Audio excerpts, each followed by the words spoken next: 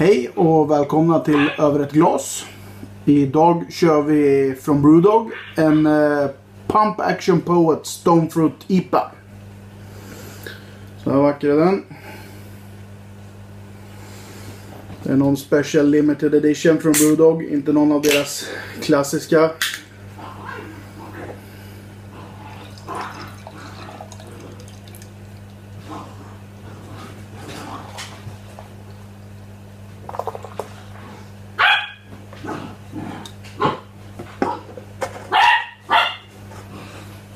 Flugor. Och det är eh, alltså stonefrukt. Man får ju misstänka att det är stenfrukt och grej, grejsmak i, i då. Eh, 7,5 procent. 30 kronor. Säljstart 4 augusti. Oj vad humle. Ja. Nu slängde jag ut hundjävlarna. Vad fan, de har varit ute och lekt en timme. Så kommer de in och för massa jävla oväsen precis när, de, när man behöver att de ska hålla käften. Fan. I lagen om alltings... Fan, kuk. Jo, det kan man säga. Vad var jag? Eh, 7,5% 30 spänn. Säljstart 4 augusti. Och det luktade massa humle. Så in i helvete med humle luktade. Jättetrevligt. Vi prövar.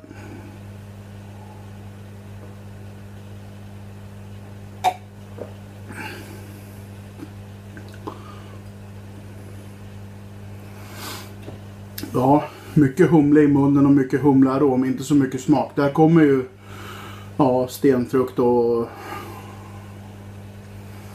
aprikos kanske. Apelsin. Väldigt fruktig i, i smaken. Inte så mycket humle som, eh, som det smakade, som det doftade.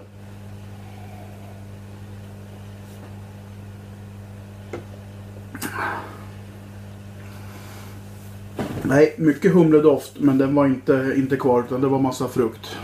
Nu ska vi se, det ska finnas passionsfrukt, aprikos, ananas, tallkåda, persika, grapefrukt. Fan, en jävla fruktsallad. Eh, men det fanns ju mycket av det där där, så, så enkelt är det ju. Tallkåda, ja ta mig fan. Aprikos har jag ju. Ananasen hittar jag ju inte. Persika kanske och passionsfrukt också. De kan vara där alltihop. Ska passa till fläsk, lamm, nöt. Men det gör ju den här typen så att, ja.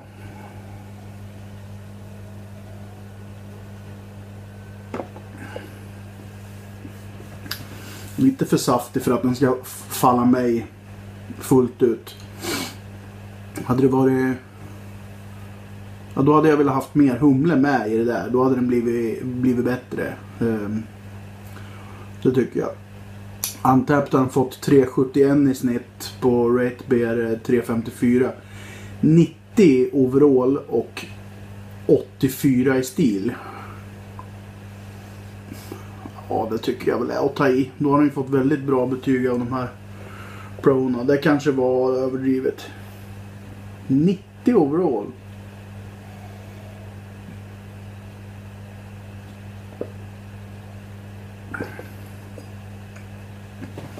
Den är absolut inte dålig.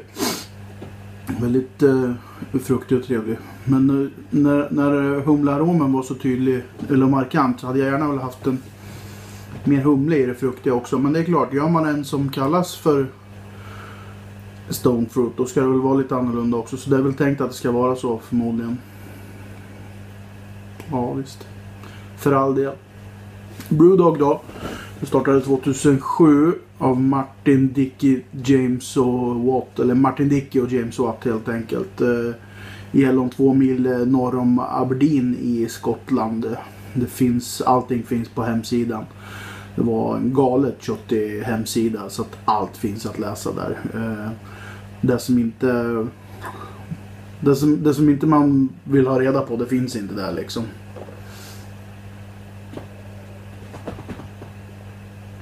Brewdog gör ju erkänt kvalitativ öl. Eh, det får man lov att säga. De har gjort många bra. Jag har testat väldigt få därifrån eh, jämfört med hur många det finns då. Eh, deras mörka, mörka Zeitgeist gav jag 3,75. Den är ju jättegod. Trashy Blonden är ju drickbar varje dag. Den gav jag 4,75 och den är ju väldigt populär. Som har en alkoholfri som heter Nanny State som är populär. Men fall inte mig, föll inte mig riktigt på läppen. Dead Boner, Pony Club 4,5 har jag gett. Den är också bra. Och den klassiska punkipan den går ju varje dag. Den gav jag 3,5 dock bara. Men det är ju riktigt eh, högkvalitativ öl. Så att pröva gärna något från Brewdog. Man, eh, man får liksom inget skit där utan det, det är bra grejer. Jag lägger länken här nere sen till Brewdog. Det är ganska enkelt. Brewdog,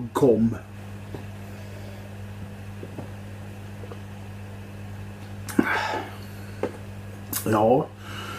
Eh, förresten så hoppas jag att kunna göra en eh, någon form av liten specialare. Förhoppningsvis om allting löser sig så kommer jag hamna på en Brewdog eh, pub. Då kanske jag kan få pröva några ställen och kanske göra, kunna göra någon blänkare därifrån. Vi får se hur det blir med det. Men det skulle vara jäkligt skoj i och för sig.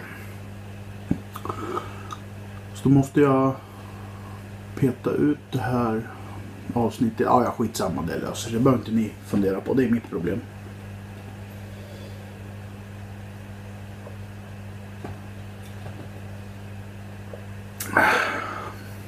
Ja, det var den det. Jag tycker att eh, den var god. Jag kommer inte ge den här någon jättebra utan den kommer få man tre mm, i basic följa med. Nej, kanske lite under till och med. Men eh, den är inte dålig. Gillar man den här typen så tror jag att den är bra. Det här är inte min favorit heller. Utan det har varit lite för mycket frukt för min, för min del. Men det är alltid kul att testa de här eh, lite special edition. Så att då har vi gjort det helt enkelt. Så kör vi. Simma lugnt och skål!